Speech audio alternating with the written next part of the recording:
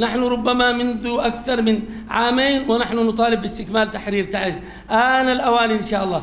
وخاصة بعدما أشار الأخ مدير مكتب الإعلام نجيب قحطان أنه الأحداث الجديدة والمستجدة الطارئة بعد أحداث صنعاء عندما غدر بالحليف الاستراتيجي الرئيس السابق علي عبد الله صالح الذي مكن هذه الميليشيات الحوثية من اجتياح المحافظات اليمنية سلم لهم المؤسسة العسكرية والألويات الحرس الجمهوري والقوات الخاصة سلمها لهم ليحققوا ولكن يعني كان الجزاء بتلك أقول بذلك الغدر المشؤوم وبالإعدام أقول هؤلاء أثبتوا أنه لا يمكن أن يتعايشوا مع أحد فأقول لابد أن تواصلوا دوركم. أنا أحب فقط أنبه انبه أيها الإخوة نريد أن نبتعد اليوم عن المناكفات نريد أن نوحد الخطاب الإعلامي نريد أن نخرج إن شاء الله بتوصيات عملية توصيات عملية وإيجاد آلية إن شاء الله لتوحيد الخطاب الإعلامي. لما يخدم التحرير ويخدم ترسيخ الأمن والاستقرار ويخدم تفعيل مؤسسات الدولة. سنخرج في آلية متفق عليها. يا إخوة ننقد الأخطاء من منطلق من منطلق الحرص لا التشفي يجب أن نوحد الخطاب الإعلامي يعني توحيد الخطاب الإعلامي الهادف والموجه لصالح المعركة. اليوم نحن بحاجة إلى التحرير. نحتاج إلى كل وسائل الإعلام عبر كل وسائل الإعلام التواصل الاجتماعي الجامع المدرسة الجامعة الشارع إقامة الندوات. نحتاج إلى حشد الناس توحيد الخطاب التوجه نحو التحرير وترسيخ قواعد الأمن والاستقرار. تعز تحتاج مننا الآن احترام. نحترمها. نحترم دماء الشهداء والجرحى الذي راحوا منكم. أنتم الإعلاميين في الدرجة الأولى. منكم رجال أبطال يعني. راحوا في الجبهات ويشتي يوصل رسالة إعلامية للناس. إخوانكم في الجبهات يعانوا أقصى أنواع البرد. إحنا هدفنا التحرير.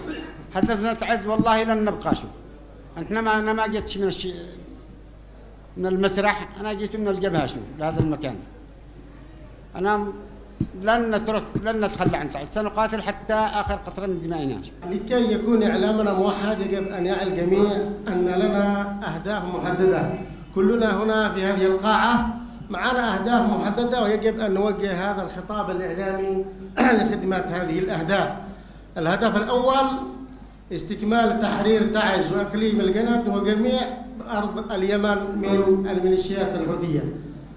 يجب أن هذا يكون هو الهدف الأول اللي هو عبارة عن استكمال التحرير خصوصا إحنا في تعز استكمال التحرير وإذا استكملنا التحرير نقول خلاص تحررنا تعز وبقية المحافظات لا ندخل بها ولكن نحن تعز نحن تعز أغلب شهداء وجرحى هذه المعركة في طول اليمن وعرضها كلهم أغلبهم من من تعز تعز هي بوصلة اليمن.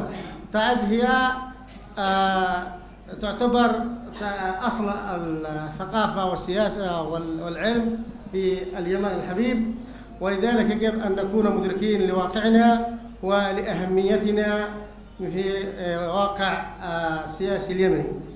إذا كان الهدف الأول وهو استكمال التحرير الهدف الثاني استعادة مؤسسات الدولة وتأهيلها وتفعيل أدائها للقيام بمهامها. ثم ثالثا وهو الهدف الذي ينشده الجميع وهو آه، بناء الدولة اليمنية الاتحادية الحديثة. يعني إذا هذه الأهداف الثلاثة لا لا يمكن أن يختلف على أثنان. فلماذا إذا نتطرق في إعلامنا إلى ما آه، لا يخدم هذه الأهداف؟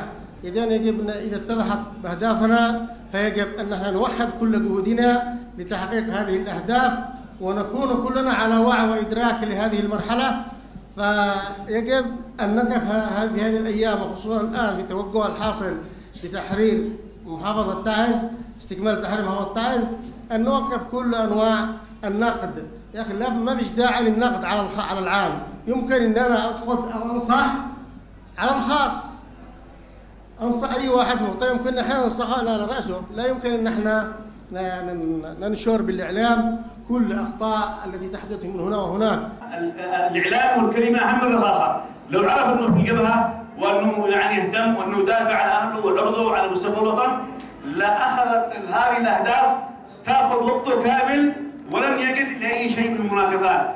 نحن نستحق الجميع لأن ياخذوا واجبهم الوطني وسنجد أنفسنا خالدين في العمل الوطني والنضالي ولن نجد وقتا للمناكفات، المناكفات لها وقت آخر والأمور الشخصية لها وقت آخر ويجب أن يعرف الجميع أن الإعلام والصحف لم تكن أصبحت غير موجودة. لكن اصبح عندنا صحف ألف صحيفة. كل صفحة واحد مع صفحة يعتبر هو رئيس التحرير بدون مراقبة بدون سياسة.